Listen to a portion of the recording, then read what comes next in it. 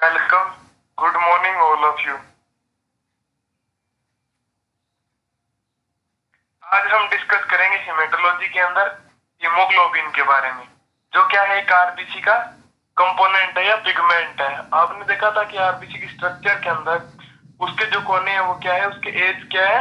मोटे होते हैं, उनकी मोटाई फूले हुए होते हैं। उसके अंदर क्या एक्यूमुलेट था? हीमोग्लोबिन उसी के ऊपर क्या डिस्कशन करेंगे कि उसके अंदर क्या क्या चीज़ें होती हैं, किन से वो बना है और किस लिए वो बना है, अपनी ह्यूमन बॉडी में क्या काम करता है, कौन से कौन से पिगमेंट है उसमें, कितनी परसेंट प्रोटीन है आयरन है। आज का टॉपिक स्टार्ट करने से पहले एक बार पीछे का जो टॉपिक था, क्या आपका एरिथ्रोपोइसिस उसको रिवाइज कर लेते हैं कि एरिथ्रोपोइसिस के अंदर कौन सी कौन सी स्टेज थी और उसको इफ़ेक्ट करने वाले कौन से कौन से फैक्टर थे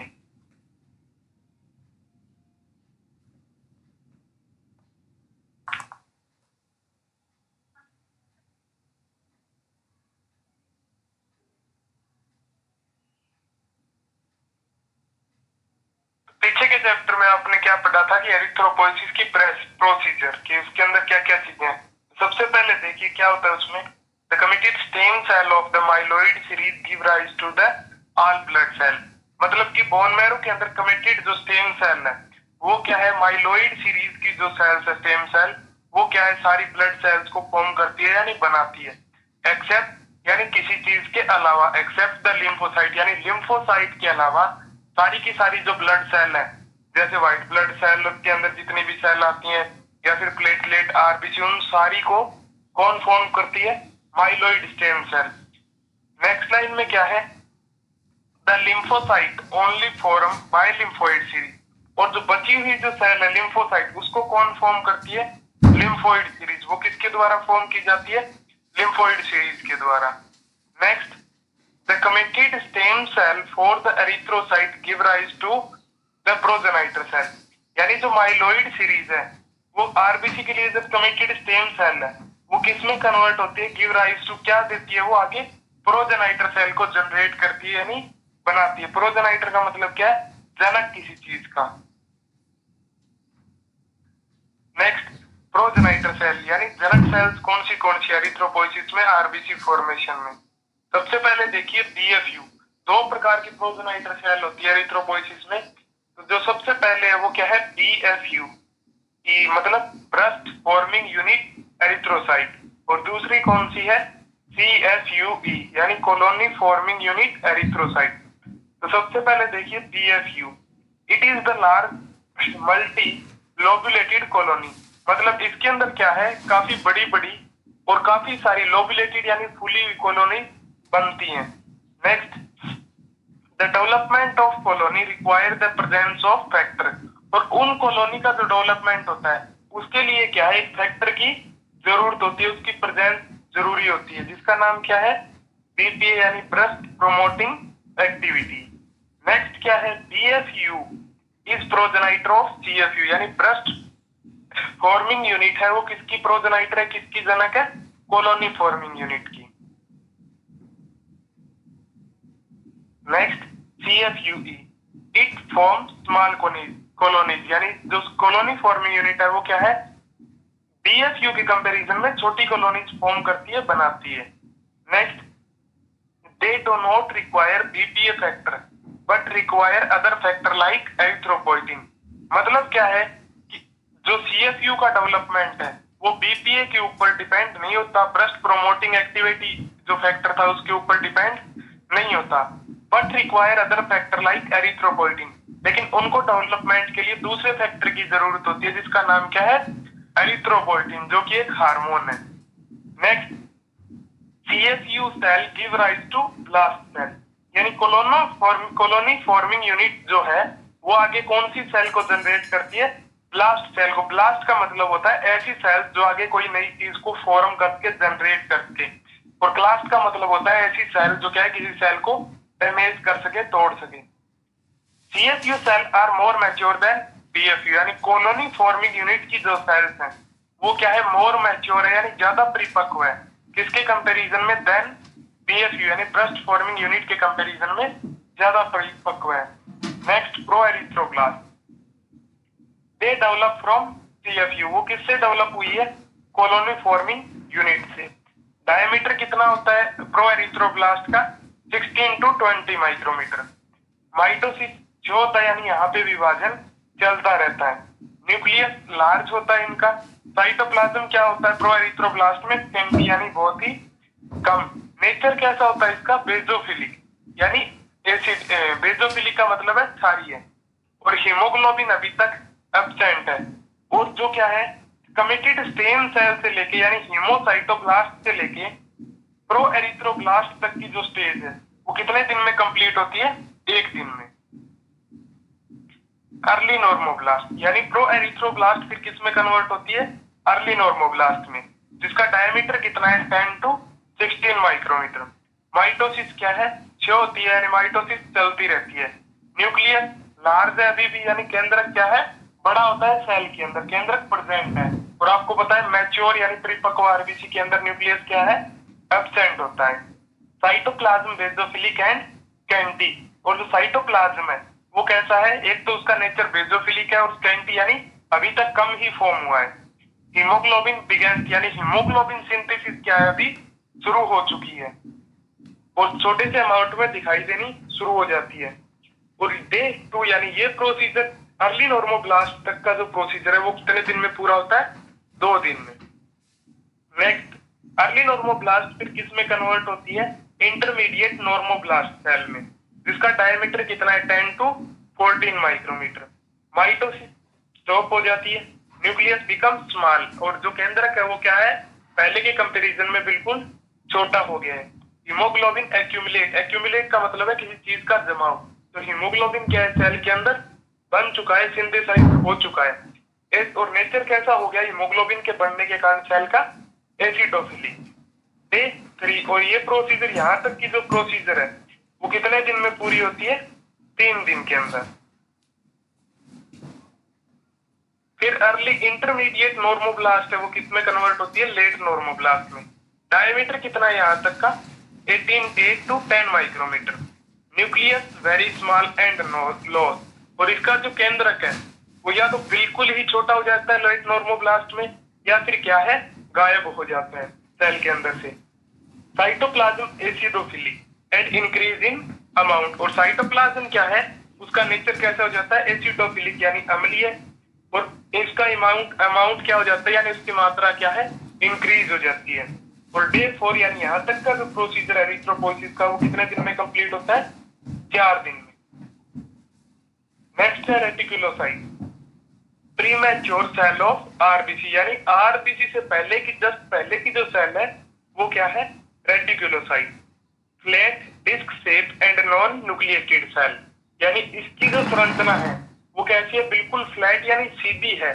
आरबीसी की सेल तो आरबीसी की शेप कैसी होती है? बाइकोन केव वो है लेकिन रेटिकुलोसाइट की शेप कैसी होती है? फ्लैट यानी सीधी। Disc shape and non nucleated cell और क्या है उसमें? केंद्र क्या हो जाता है? एबसेंट होता है। The slight bigger slightly bigger than the mature RBC यानी जो परिपक्व आरबीसी है, उससे क्या है? थोड़ी सी स्लाइटली बिगर यानी थोड़ी सी क्या है उससे? बड़ी है।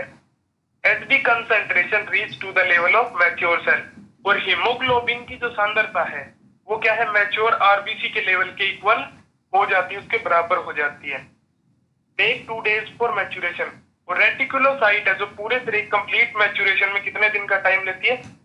दो दिन का, यानी लेट नॉर्मोब्लास्ट तक तो चार दिन लगे थे, लेकिन रेटिकुलोसाइट में कितने दिन लगते हैं? पांचवा और छठा दिन।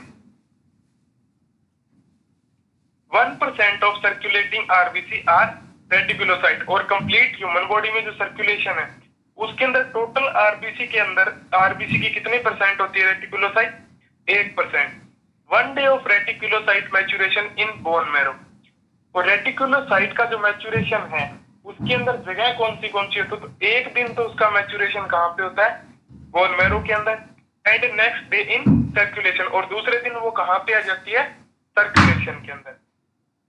नेक्स्ट एरिथ्रोसाइट मैच्योर सेल यानी परिपक्व सेल डायमीटर कितना है इसका? 7.2 माइक्रोमीटर तो आपने एक चीज़ नोट की होगी कि प्रो प्रोएरिथ्रोब्लास्ट का डायमीटर कितना था? 16 टू 20 माइक्रोमीटर और यहाँ पे डायमीटर कितना है? 7. टू माइक्रोमीटर, यानी सेल का साइज़ क्या हो गया? डिक्रीज हो गया। शुरू में साइटोप्लाज्म कैसा था? स्कैंटी यानी बिल्कुल कम। और लेस नॉर्मोब्लास्ट में क्या है? वो पूरी तरह बन जाता है। तो साइटोप्लाज्म का अमाउंट क्या हो जाता है? इंक्रीज हो जाता है। न्यूक्लियस का साइज़ शुरू में क्या होता है? बड़ा। और लास्ट में क्या हो जाता है? वो लॉस्ट हो जाता है, गायब हो जाता है।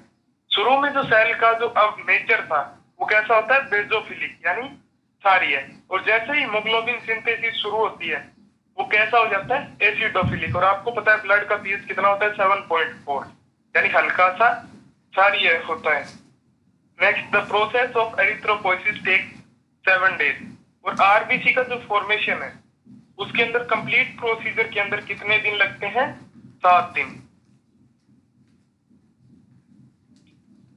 फैक्टर दैट इफ़ेक्ट एरिथ्रोपोइसिस यानी आरबीसी फॉर्मेशन का जो प्रोसीजर है उसको इफ़ेक्ट करने वाले फैक्टर यानी उसके ऊपर प्रभाव डालने वाले फैक्टर कौन से कौन से है? तो सबसे पहले देखिए erythropoietin it is glycoprotein hormone that is secreted from kidney and stimulate the erythropoiesis मतलब इस हार्मोन का नेचर कैसा है? ग्लाइकोप्रोटीन यानी ग्लूकोज से मिलकर बना हुआ हार्मोन है। That is secreted from kidney और जो एक्सक्रीट कहाँ से किया जाता है? स्त्रावित किससे किया जाता है? किडनी से, कौन से ऑर्गन से स्त्रावित किया जाता है? किडनी से। And stimulate the erythropoiesis stimulate का मतलब होता है उत्प्रेरित करना किसी चीज़ को। और ये क्या है? एरिथ्रोपोइसिस को आरबीसी फॉर्मेशन को, यानी स्टिमुलेट करता है, उत्प्रेरित करता है। नेक्स्ट हार्मोन है androgen stimulate erythropoiesis therefore, men have higher RBC count compared to women. Androgen hormone आपको पता है मेल्स के अंदर सीक्रेट होता है। तो एंड्रोजन क्या करता है? एरिथ्रोपोइसिस को स्टिमुलेट करता है। और इसीलिए क्या है? मेंस के अंदर क्या है? आरबीसी काउंट ज़्यादा होती है किसके कंपैरिजन में? किसके कंपेयर में? वोमेन्स के कंपेयर में। नेक्स्ट है oestrogen they have inhibitory effect on erythropoiesis मतलब इनहिबिटरी का मतलब है किसी चीज़ को बंद करना या उसको स्प्रेस करना, दबाना। तो ये क्या करता है? अगर ये हार्मोन सिक्रिएट होता है तो एरिथ्रोपोइसिस को क्या कर देता है? उसके प्रोसेस को स्लो कर देता है, यानी बीट कर देता है। नेक्स्ट और कौन से कौन से हार्मोन है जो क्या है एरिथ्रोपोसिस के अंदर हेल्प करते हैं। तो देखिए, एक तो thyroxine cortisol and growth hormone help in production of RBC ये क्या है? आरबीसी के प्रोडक्शन में हेल्प करते हैं। और क्या है? Dietary factor iron is required for the synthesis of haemoglobin यानी जो रेगुलर आप डाइट लेते हो, खाना खाते हो, उसके अंदर कौन सी चीज़ का कंपलसरी होना ज़रूरी है? एरिथ्रोपोइसिस के लिए आयरन का होना ज़रूरी है। क्योंकि आपको पता है कि एरिथ्रोपोइसिस के अंदर हीमोग्लोबिन का क्या होता है? सिंथेसिस यानी हीमोग्लोबिन सिंथेसिस होता है और हीमोग्लोबिन किससे मिलकर बना है? चार आयरन के कंपाउंड से एक हीमोग्लोबिन का मॉलिक्यूल बनता है। तो रेगुलर डाइट के अंदर हीमोग्लोबिन यानी आयरन का होना कंपलसरी है हीमोग्लोबिन सिंथेसिस के लिए। और क्या है? Vitamin B twelve is necessary for maturation of RBC और विटामिन बी ट्वेल्व का क्या है? बहुत ही कंपलसरी होना ज़रूरी है आपकी डाइट में, क्योंकि क्या है? ये आरबीसी के मैचुरेशन के अंदर हेल्प करता है इंपॉर्टेंट रोल प्ले करता है। नेक्स्ट फैक्टर अफेक्टिंग एरिथ्रोपोइसिस सबसे पहले देखिए कौन सा फैक्टर है? अगर नॉर्मली याद रखें तो oxygen supply to the tissue decrease oxygen आपको पता है ऑक्सीजन का लेवल जैसे ही डिक्रीज होगा। और किडनी उसको डिटेक्ट करेगी डिटेक्ट करके कौन सा हार्मोन सिक्रिएट करेगी?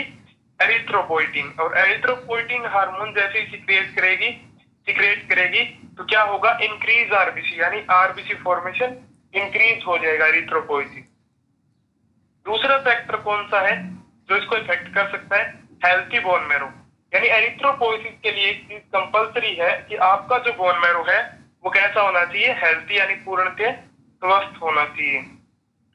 तीसरी चीज़ कौन सी है? हेल्थी लीवर और आपका जो लीवर है, वो भी क्या होना चाहिए? स्वस्थ होना चाहिए एरिथ्रोपोइसिस के लिए। वाई का मतलब है क्यों? सबसे पहले तो स्टोरेज ऑफ़ आयरन यानी वो क्या है? लीवर के अंदर किसका स्टोरेज होता है? आरबीसी ब्रेक डाउन के बाद आयरन का और विटामिन बी ट्वेल्व का। एरिथ्रोपोइसिस इन फीटस और फीटस के अंदर क्या है? और लीवर अगर स्वस्थ नहीं होगा तो आपको पता है लीवर एक फिटस के अंदर तीन महीने बाद आरबीसी फॉर्मेशन का काम भी करता है। चौथी चीज़ क्या है? डाइट यानी डाइटरी फैक्टर कौन से है? तो एक तो आयरन जो किसके अंदर काम में आता है? हीमोग्लोबिन फॉर्मेशन में। दूसरा vitamin B twelve and folic acid जो क्या है? DNA synthesis and cell division में काम में आता है। तीसरा क्या है? प्रोटीन जो क्या है? ग्लोबुलिन ग्लोबुलिन फॉर्मेशन में काम में आती है, जो हीमोग्लोबिन का एक पार्ट है। नेक्स्ट क्या है? Hormone androgen thyroid and glucocorticoid hormone stimulate erythropoiesis ये क्या है? सारे के सारे हार्मोन आरबीसी फॉर्मेशन को स्टिमुलेट करते हैं, उत्प्रेरित करते हैं।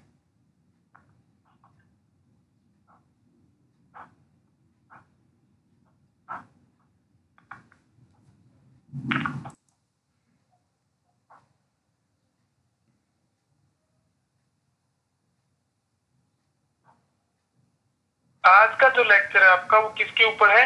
हीमोग्लोबिन के ऊपर। और आपको पता है हीमोग्लोबिन कहाँ से लिया गया है? आरबीसी के अंदर से। ठीक है, इसके अंदर देखिए, सबसे पहले a red protein responsible for transporting oxygen in the blood of vertebrate मतलब क्या है कि एक लाल प्रोटीन किसके लिए रिस्पॉन्सिबल है?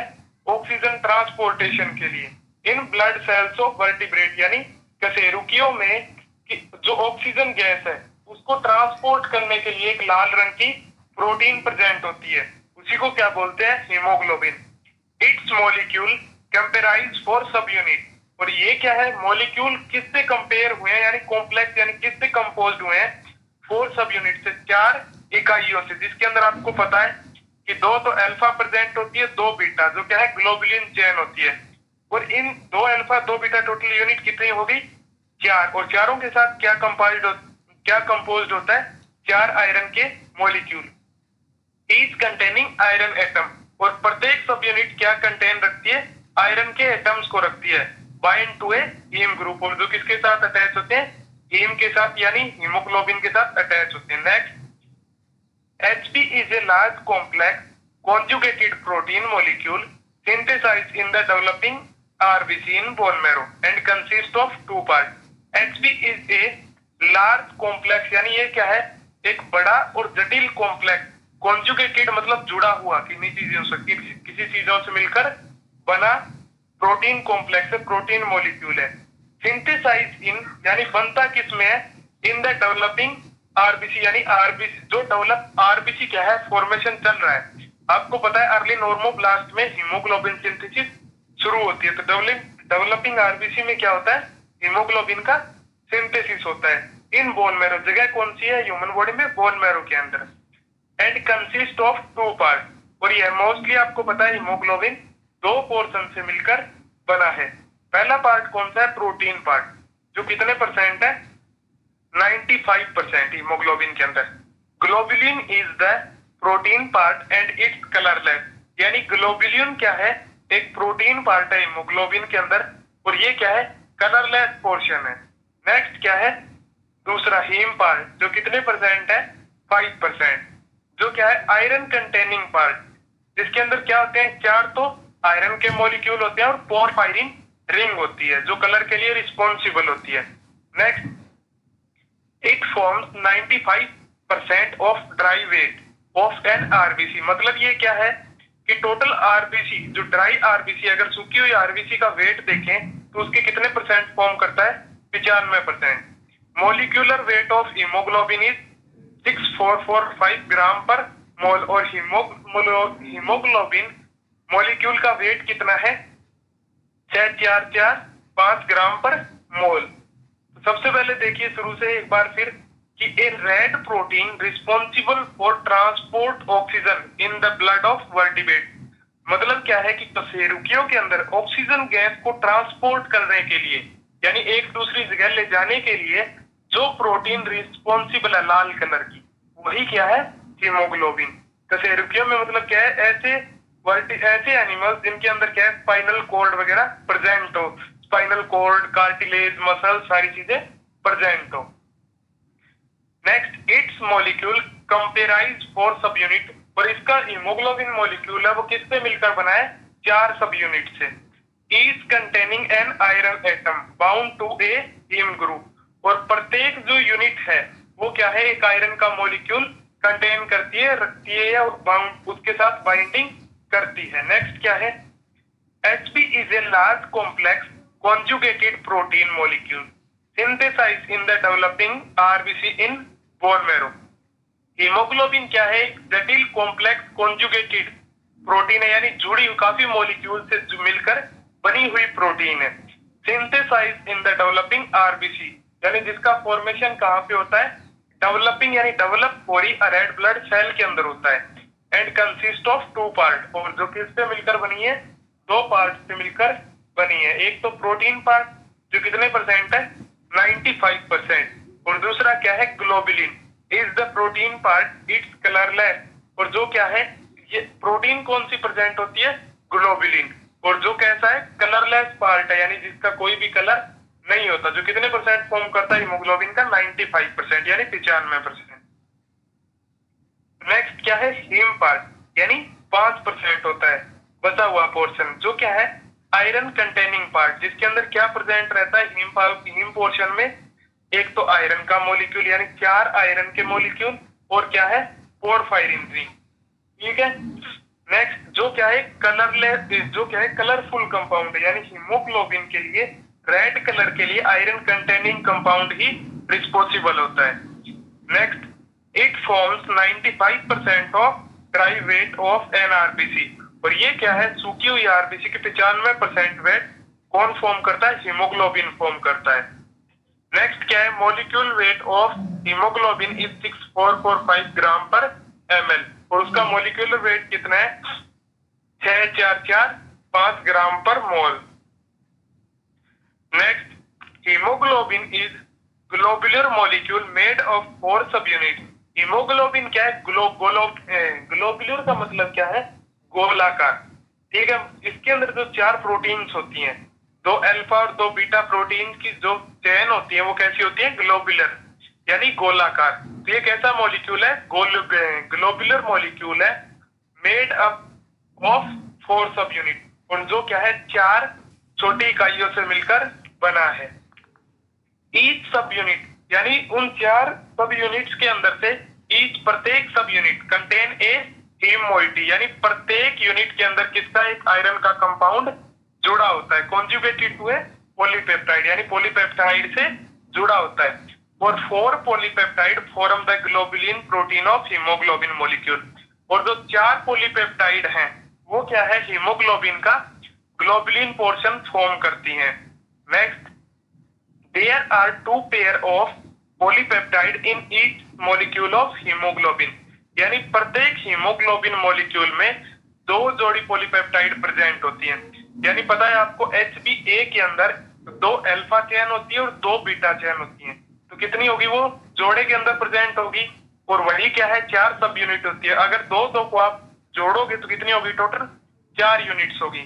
और चारों यूनिट के साथ एक मॉलिक्यूल किसका जुड़ा रहता है? आयरन का। यानी चारों मॉलिक्यूल चारों यूनिट के साथ टोटल चार आयरन के मॉलिक्यूल जुड़े रहते हैं। एक एक मॉलिक्यूल एक एक यूनिट के साथ जुड़ा रहता है। शुरू से देखिए। H B is the globular molecule of made up of four sub unit haemoglobin क्या है? ग्लोबुलर यानी गोलाकार मॉलिक्यूल है, जो क्या है? चार सब यूनिट से मिलकर बना है। दूसरा क्या है? Each subunit contain a heme moiety, conjugated to polypeptide. और प्रत्येक जो सब यूनिट है, वो हीम मोइटी से जुड़ी रहती है, यानी आयरन मोलिक्यूल से जुड़ी रहती है पॉलीपेप्टाइड बैंड से। Next four polypeptide form the globulin protein of haemoglobin molecule और चार पॉलीपेप्टाइड की चेन जो क्या है, चार यूनिट क्या फॉर्म करती है? चेन कौन सी? चार यूनिट कौन सी है पॉलीपेप्टाइड की? प्रोटीन को आपको पता है प्रोटीन है, वो पोलीपेप्टाइड बॉन्ड से मिलकर बनी होती है। चार यूनिट कौन सी होगी? दो तो अल्फ़ा दो बीटा जो क्या फॉर्म करती है? Form the globulin protein of haemoglobin molecule यानी चार यूनिट मिलके हीमोग्लोबिन का ग्लोबुलिन पोर्शन फॉर्म करती है, जिसके अंदर दो अल्फ़ा होती है, दो बीटा होती है। Next there are two pair of polypeptide in each molecule of haemoglobin यानी प्रत्येक हीमोग्लोबिन के अंदर दो जोड़ी क्या होते हैं? पोलीपेप्टाइड्स होते हैं। जैसे जोड़े के अंदर प्रेजेंट होती है चार यूनिट दो अल्फ़ा होंगी, दो बीटा होंगी। या दो अल्फ़ा होंगी, दो गामा होगी। या दो अल्फ़ा होगी, दो डेल्टा होगी। नेक्स्ट क्या है? हीमोग्लोबिन टाइप यानी हीमोग्लोबिन कितने प्रकार का होता है? नॉर्मली क्या इंक्लूड किया गया है? सबसे पहले कौन सा है?